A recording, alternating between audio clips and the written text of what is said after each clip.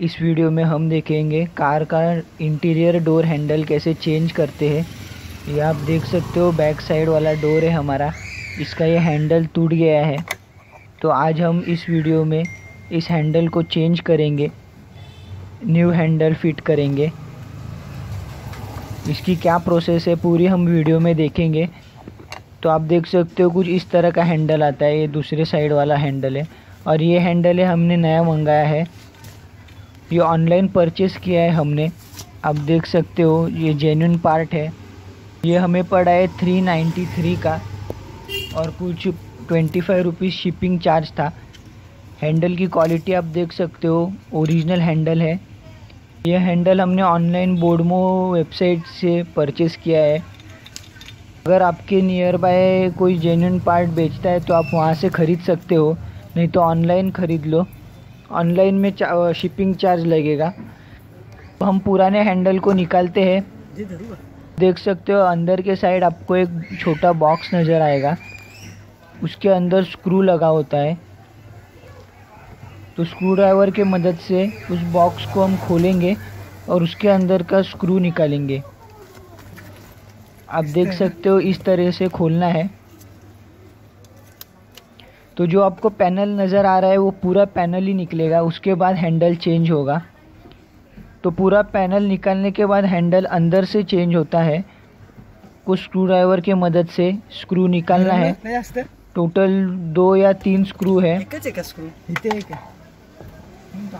ये आप देख सकते हो नीचे के साइड एक स्क्रू है।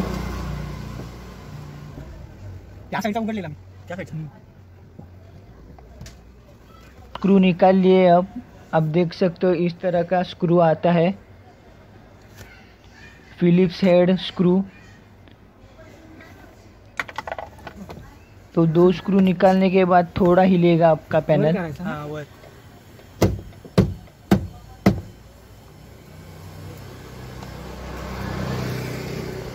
उसके बाद आपको एंड में एक स्क्रू मिलेगा उसे भी खोलना है।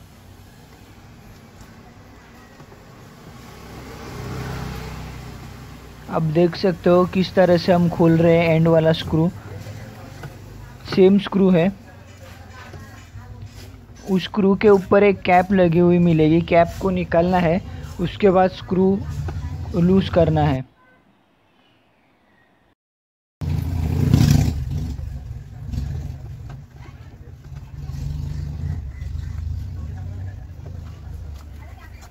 आप देख सकते हो इस तरह का स्क्रू है।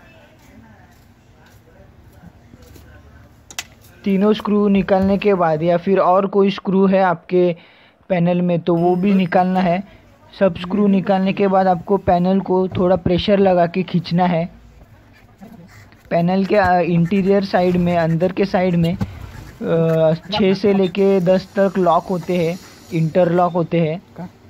तो उसे हमने निकालना है। आप देख सकते हो इस तरह से आप टेस्ट स्क्रू ड्राइवर की मदद से निकाल सकते हो।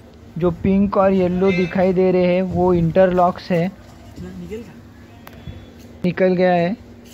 दूसरे साइड को भी हम निकालेंगे स्क्रू ड्राइवर की मदद से। तो सब गाड़ी में सेम सिस्टम रहता है। ये हमारी आई ट्वेंटी मैगना है। 2013 का मॉडल है।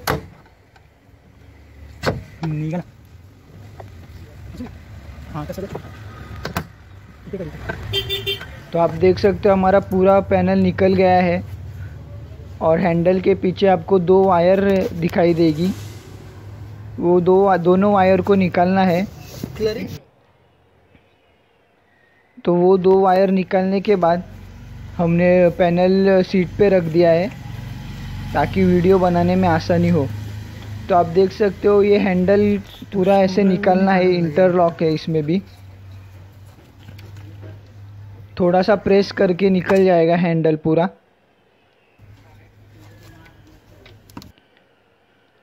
आप देख सकते हो हमारा हैंडल कैसे निकल गया है। ये पुराना वाला हैंडल है जो टूट गया है। अब हम इसकी जगह नया हैंडल फिट करेंगे। ये हमारा नया हैंडल है। तो इसे भी इंटरलॉक की मदद से सिर्फ़ फिक्स करना है। इसमें कोई स्क्रू नहीं लगता।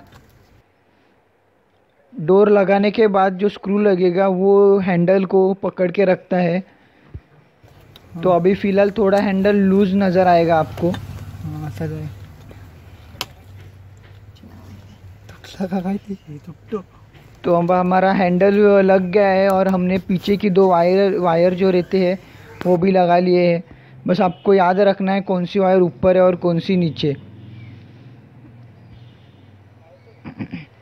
इसके बाद हमें पूरा पैनल फिक्स करना है।